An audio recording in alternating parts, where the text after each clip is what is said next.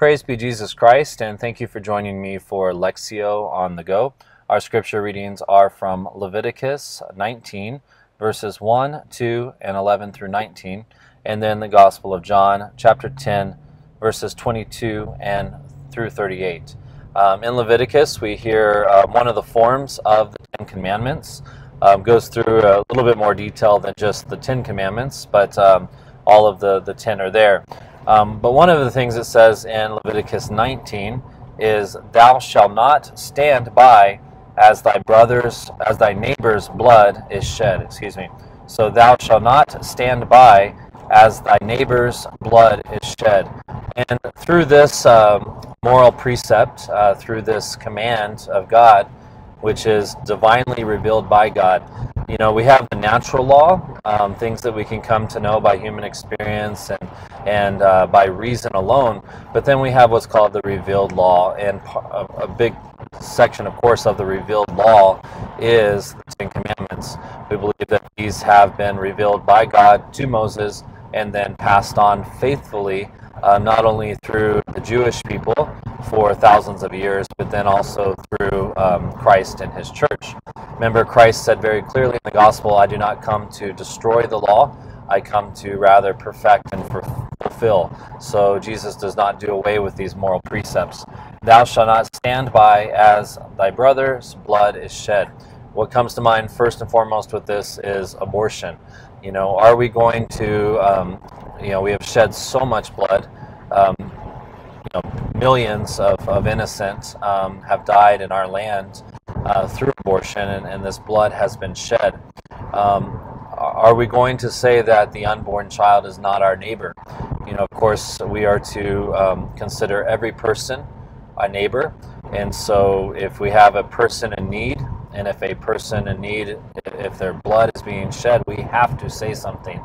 If um, this is why we defend the life of people, this is why we um, have self defense, this is why we have police that defend us, this is why we have armies that defend us, because we can't have people shedding the blood of, um, of our neighbors. And the unborn are our neighbor, the most vulnerable um, and, and the most defenseless of our neighbors then if we look a little bit at the Ten Commandments, I think it's important that there's the, the phrase, especially in Leviticus, that it says it a lot, thou shalt not. And this is what we would call a, a negative precept. So we have positive things of what you should do, and the negative things of thou shalt not, what should be, what is forbidden.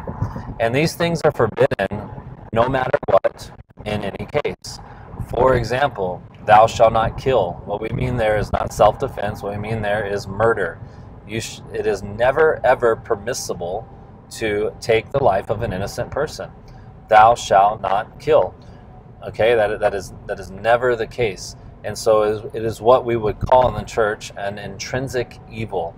All right, it's in, intrinsically evil. It's always wrong no matter what. So let's look at a few of these, what we would call negative precepts. Thou shalt not commit idolatry. This is a negative precept. It is never okay to worship false gods. Okay, even if you are to be put in prison, if you don't worship a false god, okay, well then put me in prison. Even if you are to die or be fed to lions because you won't pinch incense to the emperor who, who feels like he has a divinity, then okay, feed me to lions or, um, or put me in the gladiator, whatever you need to do, or catch me on fire but I will not. Um, there is never a time where it's permissible to go against that. Thou shalt not take the Lord's name in vain. Would there ever be a time to take the holy name of Jesus, the Father, Son, or Holy Spirit, any sacred name? Would it ever be okay to speak the Lord's name in vain without meaning? Here we have the name, the holiness of God. Um, God can never be in vain, always intentionally and purposefully, all right? Um, we already talked about thou shalt not kill, thou shalt not commit adultery. Is it ever, ever, ever permissible to commit adultery? No, it's not. This is an intrinsic evil. It's always wrong, no matter what. Um, and then the next two, um, thou shalt not steal, and thou shalt not bear false witness. Sometimes there's some clarification that needs on this. You know, with with thou shalt not bear false witness. Um, thou shalt not lie. Sometimes, um, if there is a person that would misuse the truth. Okay, and, and a common example of this is if Nazis uh, come to your your house and you're hiding Jews in your attic, and the Nazi soldier says, um, "Hey, do you have any Jews in here?" and you say, "Oh gosh, I can't lie to him. You know, I have to tell him the truth. I have Jews in here." You know, there there is an exception in that case because the Nazi soldier, one, does not need to know that truth, and two, if they are given that truth by you, then they would do harm with that truth. So you got to be really careful with this one and can't take it too too far. But the basic standard is one, does the person asking it actually have a legitimate reason or authority to know the truth? And two, what would they do with that truth? Is it going to be, um, is it obligated for me to tell them? In the case of, like, let's say a parent says, Where were you to a child, to a teenager? The teenager is obligated to tell their parent because the parent is the authority. And so you do need to let authorities know um, the truth, whether it will be uh, of bad consequence or not to you. Um, the other one is thou shalt not steal.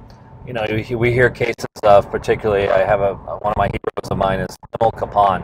He was a chaplain, a Catholic chaplain in uh, North Korea, and he was captured and imprisoned, and him and fellow soldiers were in a POW camp. Well, Emil Kapaun would go out each night and he would steal food from uh, the communists. Now, did he break this law? He did not break this law because they were being deprived of the food, and the food that was there, he, he needed to get for for the people. He wasn't stealing anything from the guards that would detriment put their life in detriment. He was he was taking what should have been given to the soldiers in the first place, um, and he was preserving life.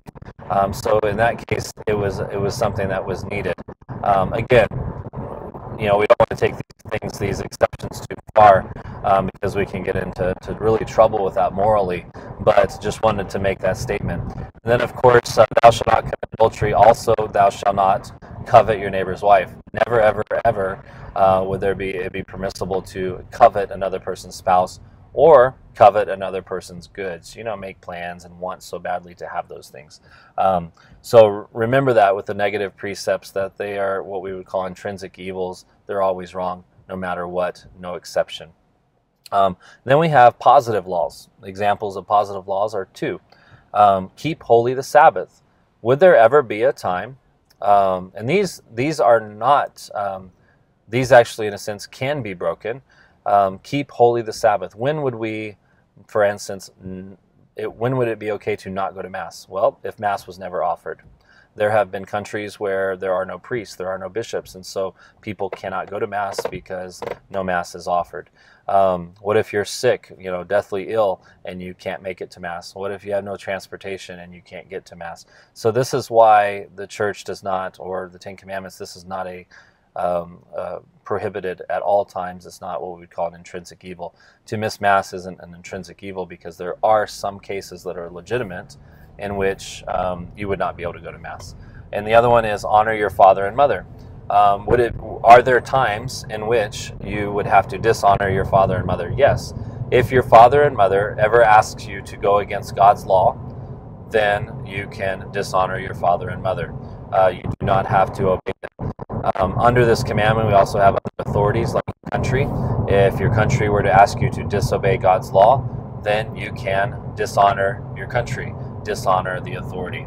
Um, all right, when we move into the gospel with John 10, uh, this is this is the, win- the readings for the Wednesday of Passion Week, and so things are getting very intense, and the church offers to us all the situations in which people are, are obstinate and just attacking Jesus and wanting him to be killed. And this is another example of that. Um, this is when they actually um, say that he has committed blasphemy. They ask him some questions, and and he says, you know, eventually they say, um, "You, you being a man, thou being a man, makest thyself God." You're claiming to be God, which is blasphemy. And so Jesus is talking about how he's one with the Father, and he and the Father are one. He says that those that have been given to me, no man can take out of my hands. Uh, no one can them out of my Father's hands. The Father and I are one. And so their response to this, the Pharisees and the Jews, this response to this is, you're you being a man are making yourself into a god, and for that we we call you out. You're a blasphemy. You're you're committing the crime of blasphemy. So this is why Jesus again. Um, it, this is why Jesus was killed because he was committing uh, what they thought was a crime of blasphemy. Of course, when Jesus says that he is God, he is either a liar, he's a lunatic, or he's Lord. We say that he is Lord. We say that he was not lying, he was not crazy. He is Lord, and therefore he's God. And what we say, what he says goes, and we faithfully pass that on for we have for 2,000 years, and we will continue to, even if it means our death. Um, with this, I like this for two two reasons. I like this verse in John 10 for two reasons. One, it says Jesus promises us that anyone is in His hands. If we are in His hands, no one can take us out of His hands. That should be very reassuring for all of us that Satan cannot pull us out of God's hands. No other force on this earth can pull us out of God's hands and Jesus will not drop us. Okay, so again, if we are in the hands of God, no force on this earth can take us from his hand. Satan cannot take us from his hand. And Jesus will not Jesus will not throw us down. So it means the only way that we could get out of his hands would be for one reason. We leave his hand. Okay?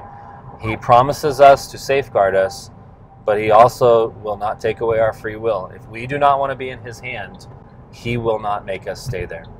Um, so we need to remember this safeguard, but remember that we always have our free will and to use it accordingly. Um, another thing that uh, this is another one of those verses, though, if you're ever talking to someone that says that Jesus is not God, for instance, the Jehovah Witness, go to this verse, John 10 Go to the trial before the Sanhedrin. That's another one. Go to the part where he says, um, "Are you?" Where they say, "Are you greater than Abraham?" And he says, "Before Abraham was, I am." There are so many accounts, at least those three that I can think of off the top of my head, where Jesus specifically says, "I am God." And if you, if if maybe a Jehovah Witness or another person that doesn't believe in the divinity of Jesus Christ, if they don't want to take that for an answer, you know, just look at the response of his enemies. They are furious. They want to stone this man. Um, and they want to stone him not because he's crazy and not because he's lying, but because, or, or they, they want to stone him because they think he's lying. But he has claimed to be God. Um, and if Jesus has claimed to be God, we have to ask is he lying? Is he a lunatic? Or is he Lord? Thank you for joining me for Lectio on the Go. Please take the time to visit linktoliturgy.com where you'll find fast, free, and faithful resources on the gospel the name of the Father, and the Son, and the Holy Spirit. Amen.